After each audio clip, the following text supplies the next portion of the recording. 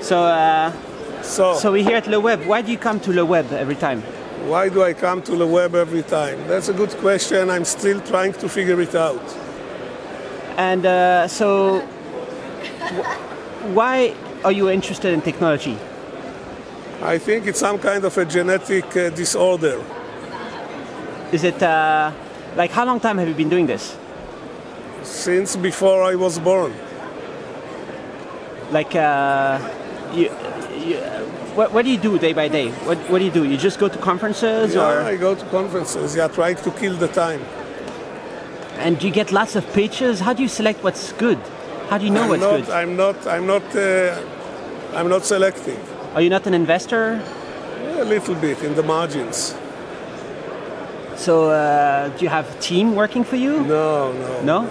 The, the secret for to happiness is to to have nobody reporting to you and you not reporting to anybody. To be your own boss, but just working for yourself. That's it. Yeah, sort of. Yes.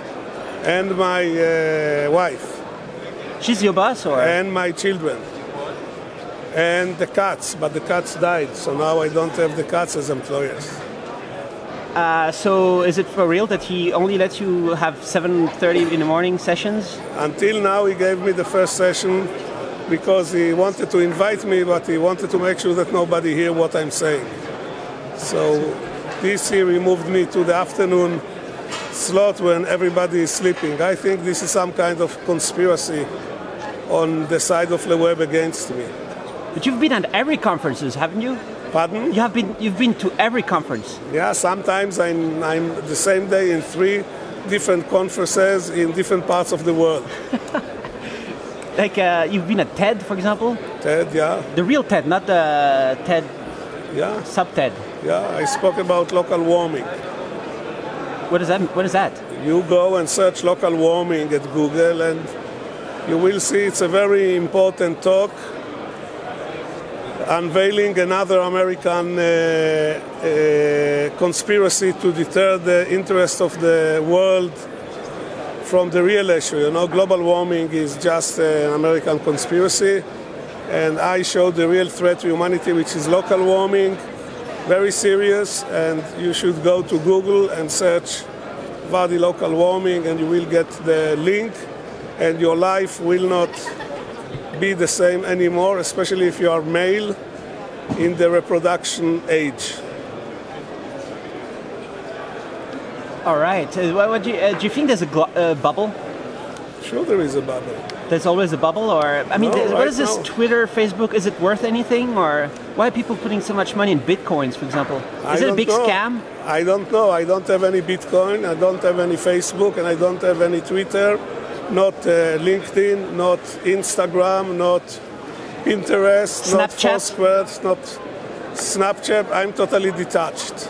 Did you try Snapchat? No.